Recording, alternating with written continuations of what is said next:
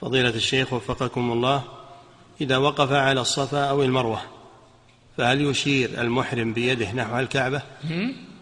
إذا وقف على الصفا أو المروة فهل يشير المحرم بيده إلى الكعبة؟ لا يرفع يديه مع التكبير يرفع يديه مع التكبير ولا يشير إليه نعم.